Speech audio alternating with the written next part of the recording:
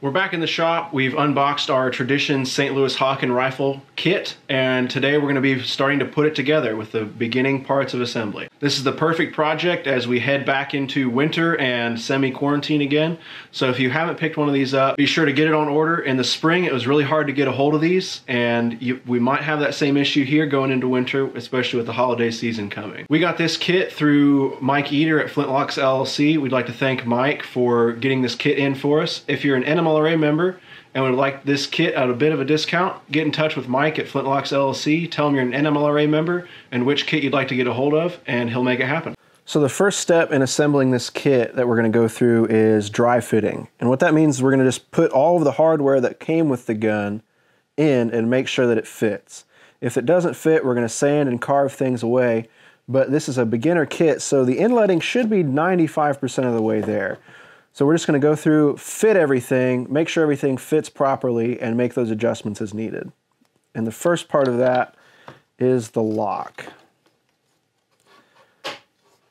Kind of push it in here.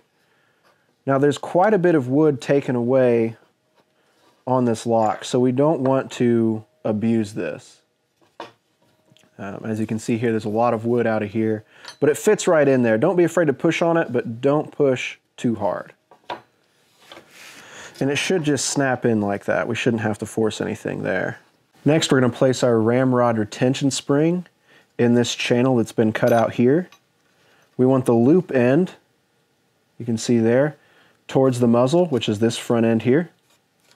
We're just gonna drop it in there. Ethan from the future now.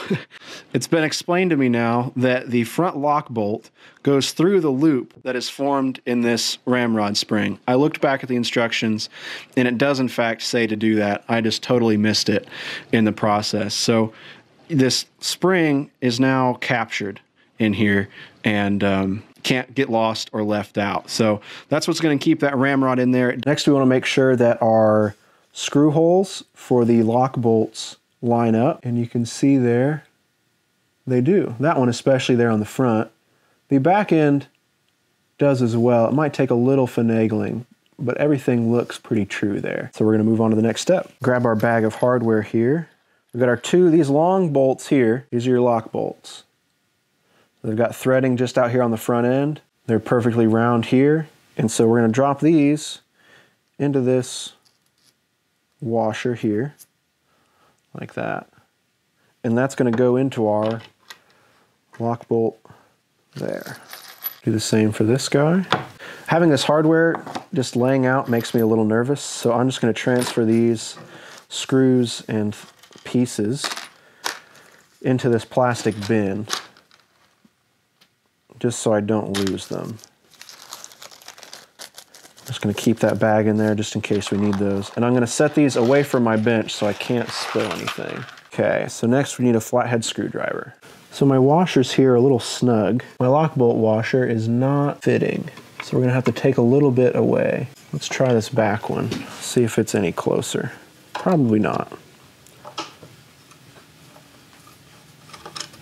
Okay, so we're gonna set those aside so we don't lose them. You could probably do this with like a little Dremel. I'm a little nervous about taking off too much. So I'm just taking this little half round file. As tedious as it is, I'm just gonna go around. Making sure to keep it even all the way around. See if we can make that big enough for that washer. We're getting there. Now, you might have the notion to just smack that with a hammer and just set it. And that might work. I don't want to crack this at all though. So I'm just going to kind of take it slow and steady.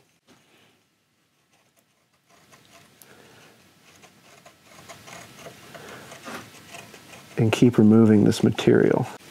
Listening to gunsmiths talk about using power tools is they say it's a, a quick way to make big mistakes. If you were wanting to build a kit fast, you probably wouldn't be building a kit.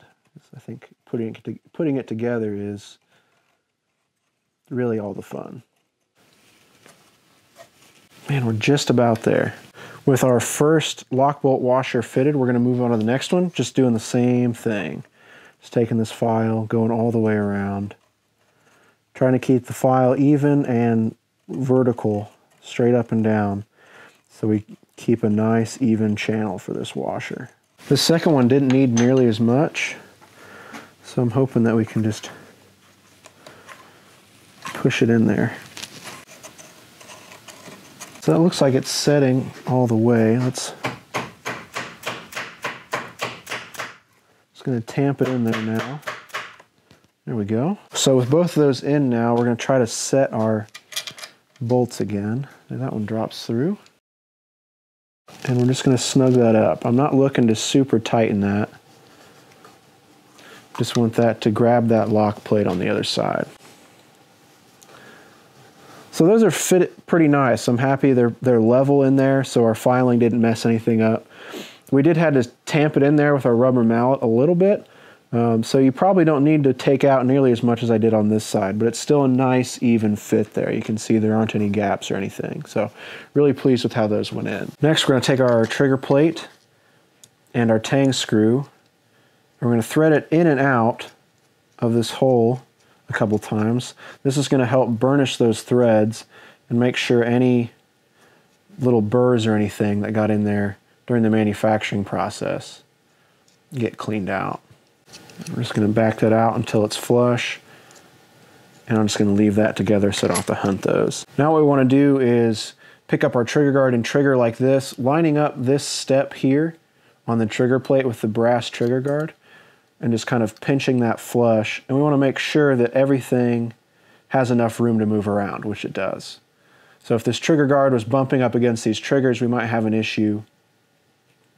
But manufacturing on this, pretty solid. Then we're gonna take our trigger assembly and head over to the gun vise and start fitting this. Back here at the gun vise, we're ready to set the trigger into our stock. There's a little bit of wood debris here, just some chips from the milling process that we're going to take out with our file. We don't want any of that in there when we set this trigger. So just a real gentle on the file here, just enough to pull those shavings off the wood. Some other stuff down in here. I'm just going to use the end of our file here and try to just get all that stuff out of there. On this flat face here, I'm using the flat end of my file, and on the rounded faces down in there, I'm gonna use the rounded end of my file. Get on out of there. With that cleaned out now, we're just gonna drop our trigger assembly in there and see how it fits. It looks pretty good, really.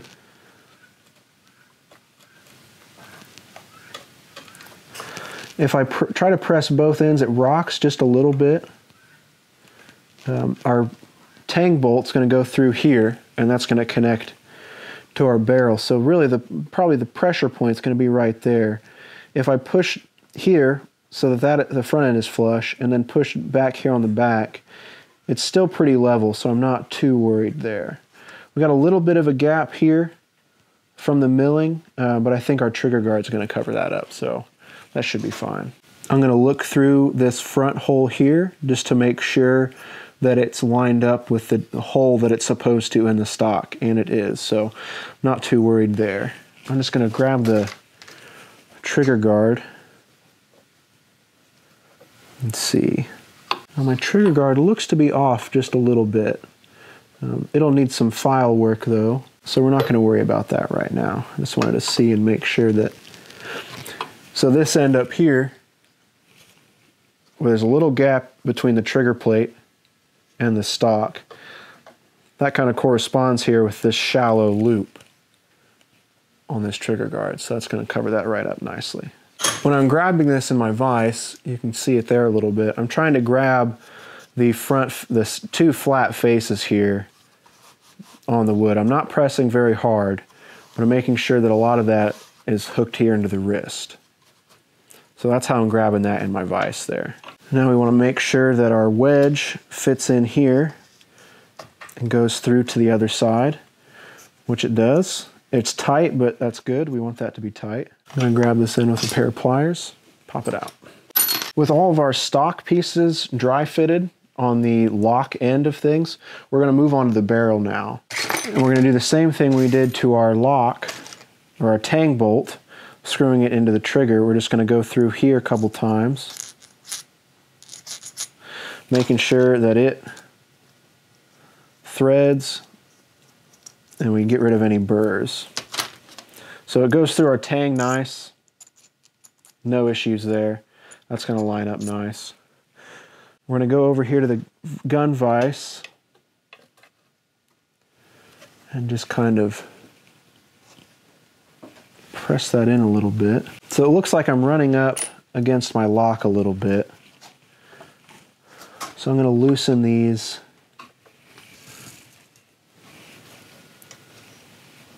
lock plate screws. Let's see if I can push that down in there any.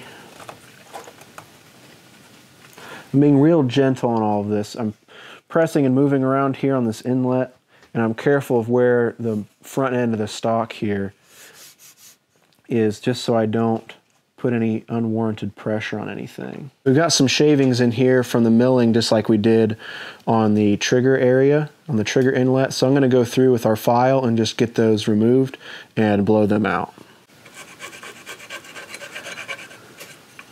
Looking at these, this is definitely what was stopping that tang from setting.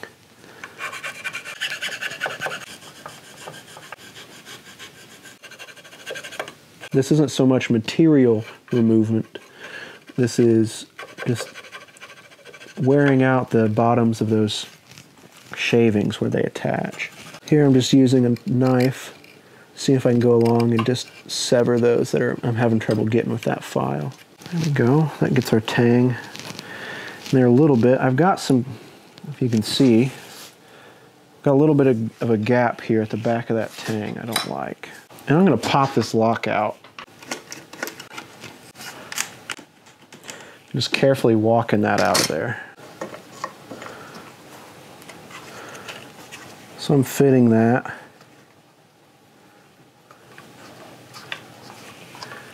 Grab my tang bolt, make sure that lines up, which it does. Next we're attaching this barrel tenon, and this is what is going to lock into this wedge inside the stock. Sometimes these will be angled a little bit to make it easier to attach on one side, but I don't think that's the case here. We want to make sure this angled end is pointed towards the muzzle. So this piece doesn't want to fit in right out the box, so we're going to use this dovetail file my father has set out for me. This has one cutting edge or one cutting side, then the other two sides are just flat, so they're not going to cut anything. And this is going to allow us to come in here and extend the width of this just a little bit so we can get that dovetail to fit in there.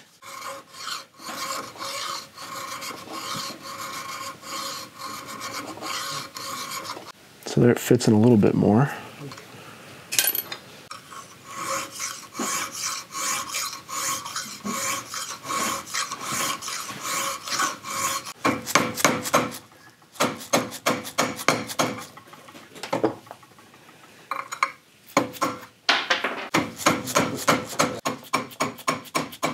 So we've got the barrel tenon attached now. It took a little bit of file work as you saw. So we've got this pretty centered, I think, looking at it, and we're ready to move on to the next step, which is threading our nipple into the bolster here. So in our parts bin, this is our nipple. You might be able to see, there you can see how small that hole is there. So this is the part where we're gonna put our cap. Little fire is gonna come through here and ignite the black powder at the bottom of our barrel. At this point, you can also screw the bolster screw into the designated spot using a straight slot screwdriver. Tighten until snug. Traditions recommends we put a little bit of oil on both of these thread sets just to keep them, uh, make just to make them easier to get out in the future. So I'm going to use some a little bit of oil there. got a little extra there, so I'm just going to put those on both of these screws so they're easier to take out in the future. So with our tenon on the barrel, the nipple in, and our tang set here in the stock, we're going to set this barrel and make sure that it fits, lining up with making sure that we have a flush connection here at the tang, but then also we're going to come down here to where we set the wedge and make sure that all of that lines up too. And I haven't done any change here between the barrel and the tang, and it is real flush, I think. I've, I've got to back it up just a little bit to fit in the inletting there some, but everything I think is looking pretty good. It would be helpful if this, the manual had some more pictures, I will note. So now we're going to turn this over and set the lock in our vise as well. So we're going to set the hammer in half cock. So with our wedge in and our lock in and our barrel into the tang, we're going to put in our tang bolt and then flip it over and line it up with the bolt on the trigger assembly. And I'm just going to hold it there and see if we can screw this bolt in to that trigger.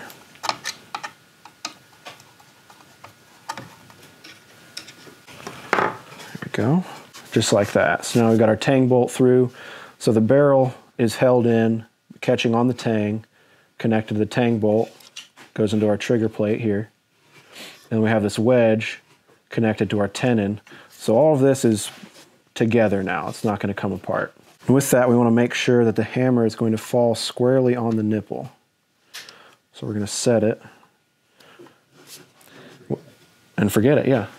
I'm going to hold back on the hammer with my thumb so this doesn't just hit the nipple square on. It'll ruin your nipple and make it harder to use over time.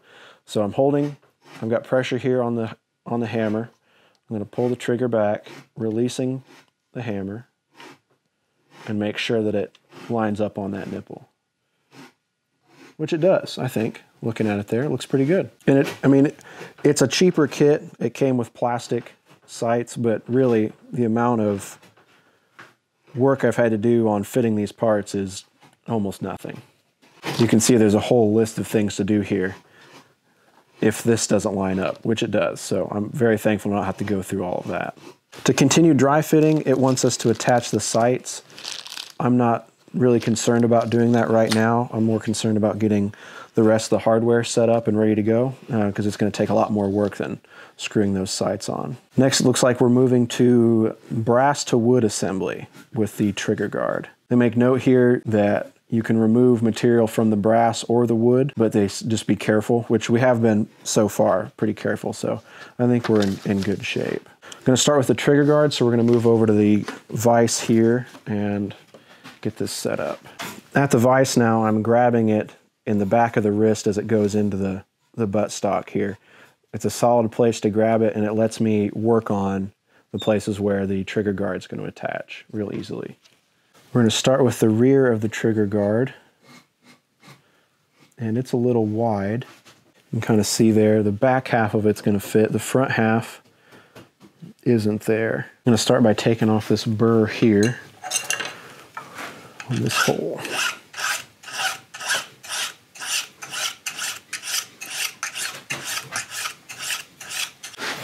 Take my pencil and kind of trace around. And then we're going to get some expert help on how to move forward. Okay, the first thing I would do is I would get a nice radius on the front of that instead of it's kind of cob the way it is. Okay. And the same thing with the rear. See that? Okay, yeah, it's got things? that mold mark. Okay. I clean, get a nice radius filed on there, and get that mold flashing out of there. So you okay. got that cleaned up nice. And I do the same thing up here, making sure get some flashing here. Okay. I'd get my trigger guard all cleaned up. Okay here. I mean, all that stuff. I'd get that all cleaned up as best I can. Then I would. fits pretty close now. Uh, I, I, would just do that and then see where you are. Okay. Before you do anything else. Okay, thank you.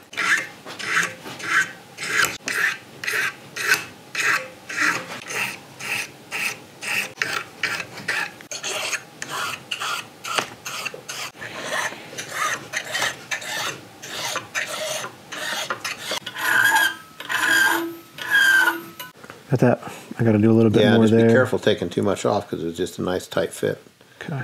on the sides. I guess that'll be in the wood Right, in the inlet, that's so I don't the need to worry about that. Well, it's always better. We're going slow. When you see guys do it faster, that's just because they've done it 6,000 times. Right. And you learn it slow is the key.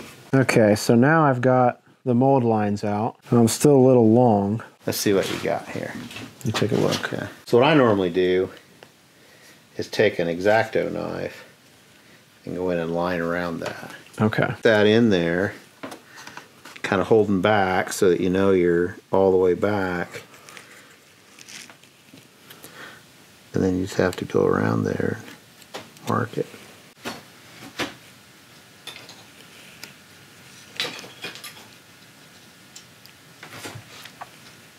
So I can kind of see it right there. So then you can just take that guy.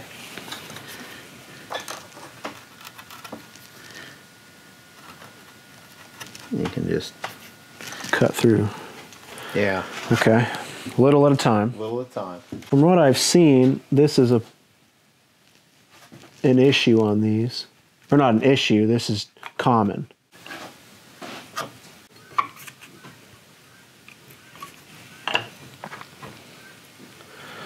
The chisel I'm using is a little Swiss made number five. See there. Those little short palm tools are kind of handy for that kind of work.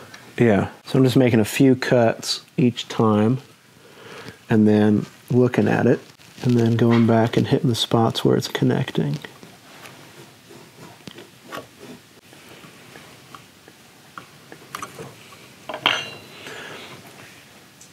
And getting kind of close, it's dirty enough from the filing that it kind of leaves an imprint that I can go after with my chisel.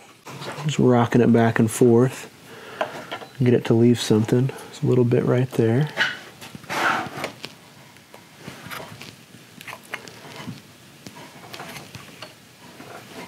A little bit over here. We're just going to scrape off.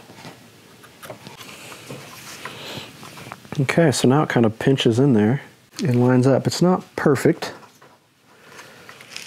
Only a couple little little spots where I think I took off just a little too much. That's how you learn. And that's how you learn, yeah. So I'm pretty happy with that fit. Up here at the front of the trigger guard, though, it's a little long. There's only so much you can do there because if you line it up up here, then you'd have to you'd have to inlet more back here. So the screws for our trigger guard are these little black guys here. I'm just going to set them with a just a screwdriver. I'm going to poke a start hole for that back screw. It's to help this screw bite a little bit better. Taking a little hand drill and drilling a pilot hole probably wouldn't hurt.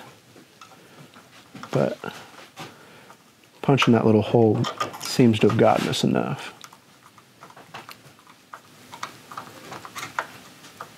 So I got the back end of the trigger guard fitted. So it took a little carving there, you saw. And then I noticed as I was trying to fit the front end, there was about an eighth of an inch gap at the front. Now, I looked at it and I thought, well, you know, everything's not perfect. They talk about it in the manual that things aren't going to match specifically. Uh, my father was in the shop.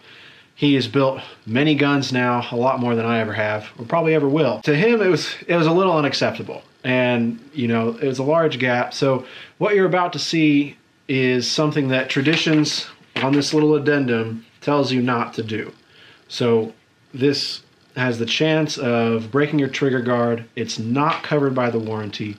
Do not do this unless you have an experienced gunsmith on hand walking you through it, or you yourself are willing to run the risk of breaking that trigger guard. Now, I will say it seems to be a pretty common trigger guard shape. You can get another one from Traditions or any other muzzleloading gunsmith supplies shops out there, but just do know that this next bit that you're about to see is in here as something not to do. It can break your trigger guard, and it is not covered by the warranty that Traditions gives you do this under your own risk. Please do it if you do do it under the supervision of an experienced gunsmith. Do not do this if you are like me and did not know how, how to do this.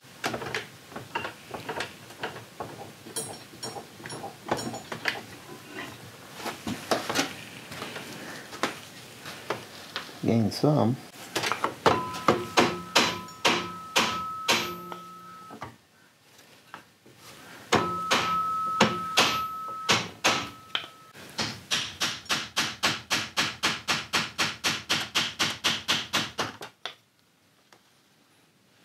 See, look at that from the side.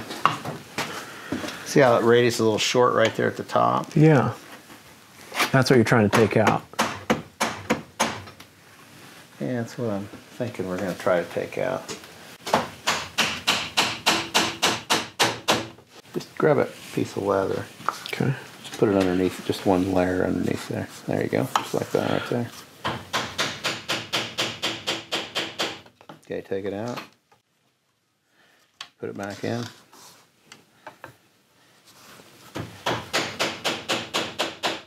It's not too bad. I'd probably quit there, wouldn't you? I think so. Okay. Voyanty unvoided. A lot of times, just a little tapping and banging around there, you can move that brass around.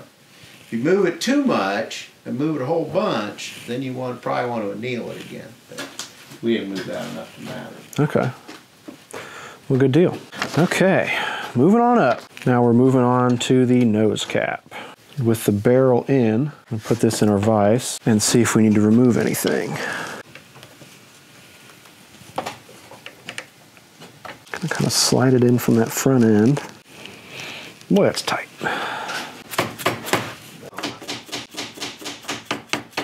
So that, looking at that all the way around, fit on pretty flush. It took a little tapping there at the end. We're gonna go back to the other end of the gun now, to the butt plate, and it's already been on this kit attached. What we wanna do with this is sand away this excess, or file away this excess wood. So they've got it on here and screwed on. We don't wanna mess with that if we don't have to. So this is just be kind of wood reduction to get it to line up to, to the butt plate there. Ooh, we got a bunch. Yeah, there's a bunch on that one side. Yeah. What I'd do is I'd mark a line good, pull my butt plate off, Okay. try to get close to that line as I can. Since the butt plate's not finished, polished or anything, then once I got my wood really close, then I would just file my butt plate and my wood together. Okay. So that way they're File 'em both. seamless. Yeah. Okay. Same time. And you can just leave it on there right now and go after this side. You're just kind of want to rotate, Rotate your gun. Then I would go out here and grab my gun, probably right in this area, Okay. so I can get it up on its side. Then I can go after that. Okay. And that's how I would do that. I see leaving the butt plate on there as a way to keep that contour. Yeah. And From the stock I mean, all I the way the same back. thing. I'll put my metal on a gun, and then I'll work my wood to my metal, Okay. and that's not uncommon at all. Especially trigger guards, inlet trigger guards. Trigger guard in, put a junk screw in, Yeah. File it in, get everything where you want it, clean everything up, then you put your real screws in with.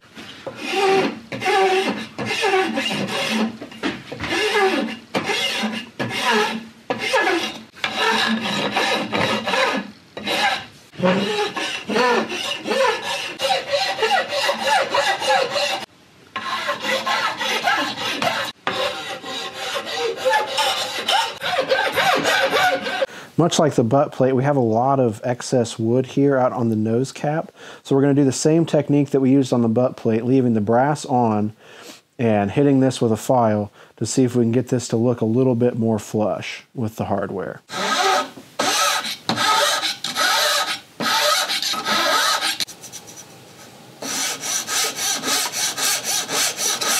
Now I don't want to get into that barrel very much because it has a fine draw file-esque finish on it. So I'm being real careful out here on this end of the, I guess the top end of it, trying to keep out of that barrel.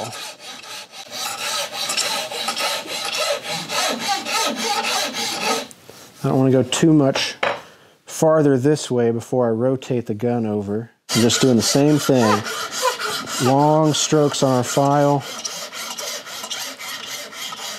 Checking every few strokes. Just to make sure that we've getting we're getting things lined up.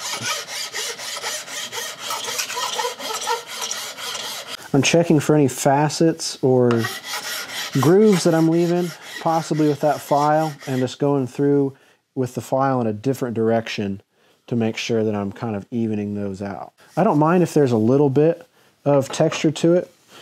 I like a gun to have, you know, not after a thousand grit sandpaper finish on this. I want to be able to hold it, be able to get a good grip on it, and feel the wood. I don't want any splinters or anything, but I want a nice texture to it.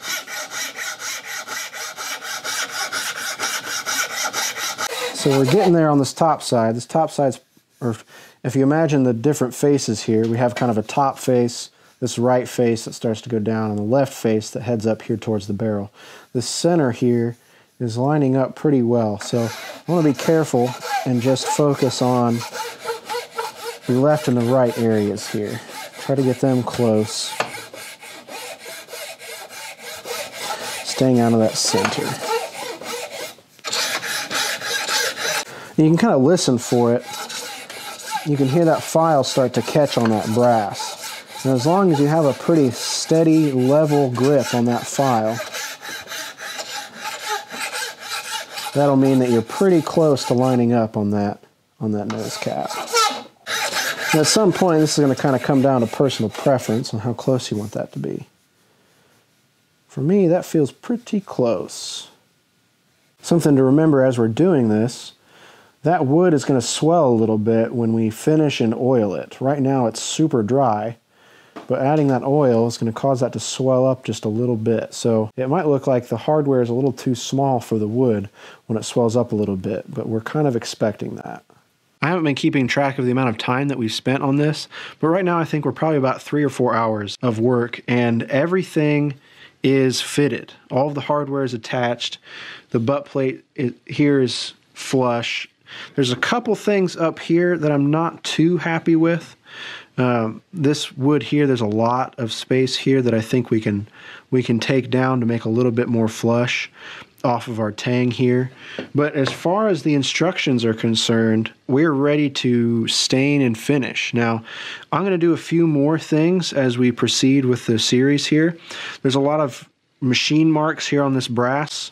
Our nose cap needs some polish, and our butt plate does as well. And if you look at our ramrod pipes here, they're just about the same as the patch box. They got a lot of machining marks, and this is just a real simple lathe cut here to give the impression of wedding bands around that. So moving forward now, we're going to start hitting this hardware some with some files and some sandpaper and try to spruce it up a little bit.